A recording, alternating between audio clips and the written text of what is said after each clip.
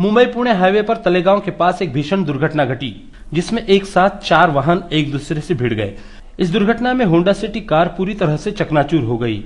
ज़्यादा चोटें कार में सवार लोगों को ही आई, मगर इस दुर्घटना का शिकार एक एसटी बस भी बनी।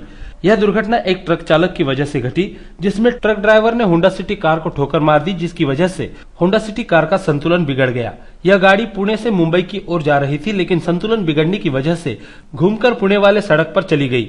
वहीं मुंबई से पुणे के लिए तेज गति से आती हुई दूसरी होंडा सिटी कार से यह होंडा सिटी कार टकरा गई। साथ ही उसी सड़क से आने वाले एसटी से होंडा सिटी की भिड़ंत हो गई। इस सड़क दुर्घटना में होंडा सिटी कार पलट गई तथा दूसरे होंडा सिटी कार के परखच्चे उड़ गए और एसटी बस को भी काफ़ी नुकसान पहुँचा। दुर्घटना में कुल मिलाकर सात व्यक्ति घायल हुए हैं जिनमें से एक की हालत गंभीर बताई जा रही है। सोमवार को दो बजे यह सड़क दुर्घटना हुई। इस दुर्घटना पर हमारे प्रतिनिधि ने एक्सप्रेस हाईवे पर तैनात ट्रैफ़िक पुलिस अधिकारी से बात की।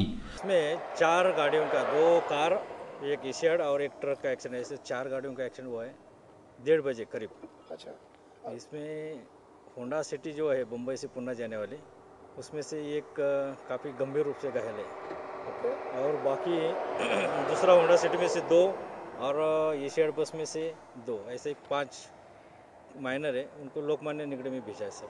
रीज़न तो ऐसा लग रहा है होंडा सिटी एक गाड़ी है कार है जो M H zero one A X double five nine zero ये पुणे से मुंबई जा रही थी उसके पीछे ट्रक वाला था। ओके उसने पीछे उसे ठोक दिया उसकी वजह से वो जो आ, कार थी वो रॉन्ग साइड जाने गई।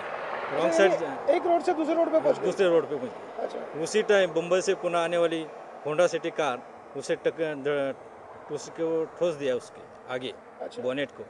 और होंडा उसी के पीछे एक इसियाड थी उसको भी कंट्रोल नहीं होने की वजह से उसने वो आगे वाला होंडा सिटी उसको ठोक दिया। इसलिए मुंबई से पुणे जाने वाले जो होंडा सिटी वाली थी, वो काफ़ी गंभीर रूप से घायल हो गया। मुझे लोगों से एक अपील है, वो अपने और अपने फैमिली की सुरक्षा के लिए गाड़ी चलाते, उस टाइम स्पीड लिमिट का इस्तेमाल, स्पीड लिमिट में जो भी उसको दिया है एटिकल लिमिटेशन दिया है, उसी लिमिट का पालन करिए। और खुद की तरफ़, खुद और अपने फैमिली की सुरक्षा के लिए सभी सावधानी पूर्वक गाड़ी चले, ये हमारे सभी लोगों से विनती है। खबर लिखे जाने तक मामूली जख्मियों को अस्पताल से छुट्टी भी दी जा चुकी होगी। कैमरा पर्सन संदेश वाटवे के साथ करनाला टीवी के लिए गोपाल शाह की रिपोर्ट।